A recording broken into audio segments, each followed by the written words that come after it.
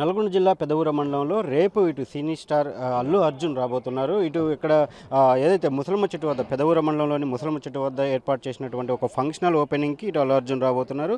అల్లు అర్జున్ మామ ఇక్కడ ఏదైతే పెద్దవూర మండలం చింతపల్లి ఆయన స్వగ్రామం కంచెర్ల చంద్రశేఖర్ రెడ్డి ఆయన ఇక్కడ ఒక భారీగా ఒక ఏర్పాటు చేయడం జరిగింది ఫంక్షనల్ ఏర్పాటు చేయడం జరిగింది. దాన్ని ఓపెనింగ్కి ఇటు అల్లు అర్జున్ వస్తున్నారు. ఈ నేపథ్యంలో అల్లు అర్జున్ అభిమానులు అదేవిధంగా కంచెర్ల చంద్రశేఖర్ రెడ్డికి సంబంధించిన అనుచరులు కూడా అదేవిధంగా ఆయన అభిమానులు కూడా పెద్ద సంఖ్యలో ఇక్కడికి తరలివచ్చే అవకాశం ఉంది. అయితే ఇప్పటికిటు వచ్చే ఎన్నికల నేపథ్యంలోనే ఈ అంశం అనేది ఒక చర్చనీయాంశంగా మారిన పరిస్థితి అయితే కనిపిస్తూ ఉంది. రాజకీయ ప్రాధాన్యత కూడా సంతరించుకున్న నేపథ్యంలో అందరి దృష్టి కూడా ఇక్కడ ఈ రేపటి సభ పైన కూడా పడిన పరిస్థితి అయితే కనిపిస్తూ ఉంది. దీనికి సంబంధించి ప్రస్తుతం మనతో ఇటు కంచెల చంద్రశేఖర్ రెడ్డి ఉన్నారు.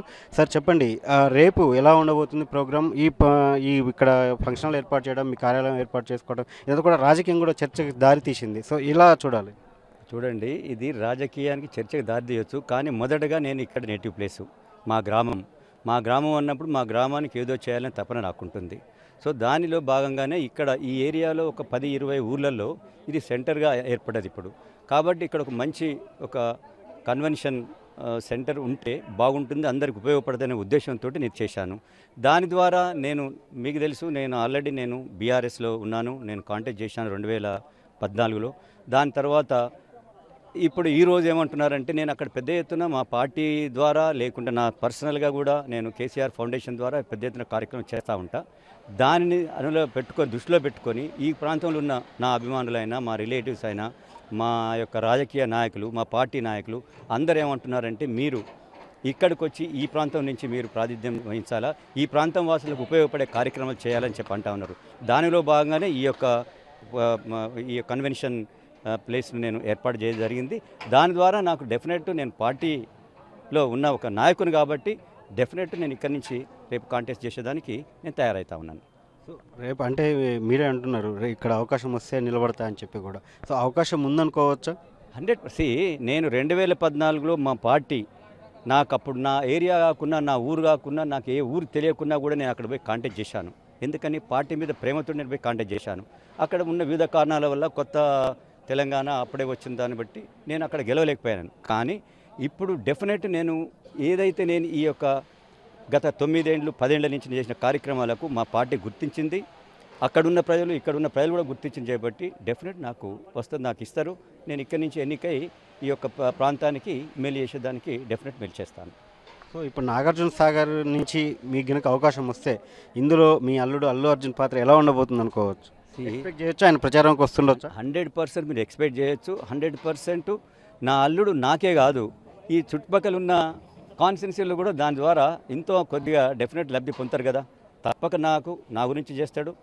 ప్లస్ మా మిగతా మా నాయకులకు కూడా దాని ద్వారా కొద్ది ఇంతో అంత ఉపయోగపడుతుందని చెప్పి దాంట్లో ఎలాంటి సందేహం లేదు. సో కేసీఆర్ ఫౌండేషన్ ద్వారా నాగార్జున సాగర్ నియోజకవర్గంలో ఎలాంటి కార్యక్రమాలు చేయబోతున్నారు మరి? నేను చూడండి ఇప్పటికే నేను కేసీఆర్ ఫౌండేషన్ ద్వారా నేను ఆడపిల్లలను చదివిపియాలి ఆడపిల్ల చదువు ఇంపార్టెంటు ప్లస్ ఏదైతే హెల్త్ హెల్త్ ఎన్నో హెల్త్ క్యాంపులను పెట్టేది.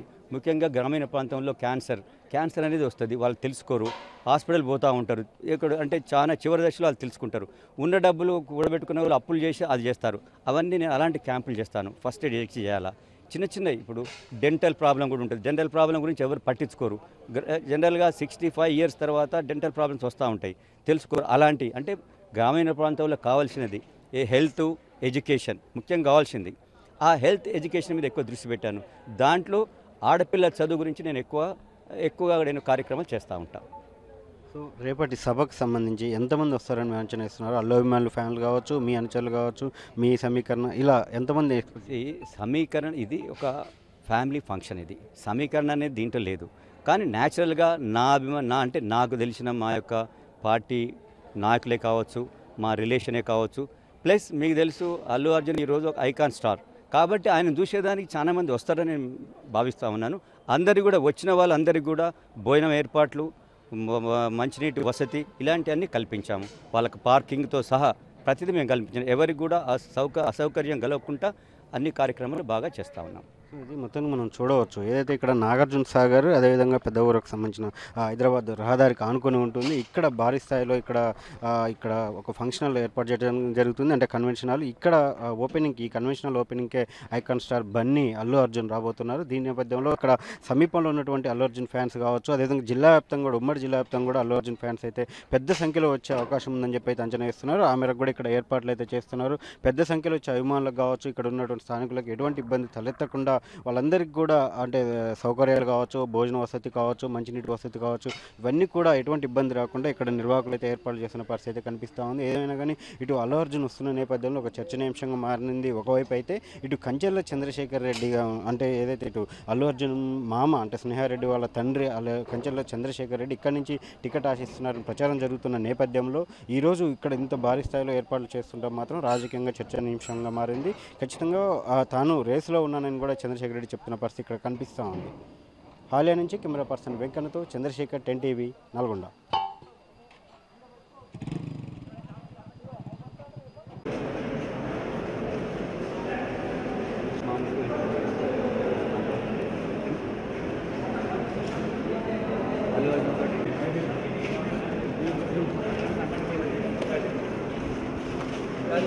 ఎప్పుడు పది రోజులకు పదిహేను రోజులకు మేము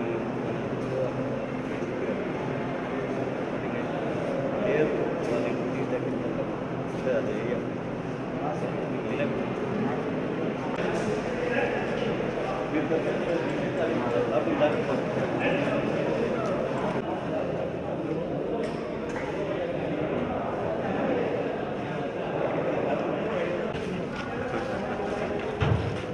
అదే అదే అదే. ఇది ఏదైనా ఎంతో ఇప్పుడు నేను ఏం చేసింది? వేరే వాళ్ళు ఉపయోగిస్తుంటారు మీరు చే హెల్పింగే కదా? థ్యాంక్ యూ మీరు రేపు రావాలా? మీరు మీరు రావాలి. నేను అది ఫంక్షన్ అయిపోయినాక మనం ఓకే? మీ వల్ల ఇప్పుడు నేను భోజనం చేయలేదు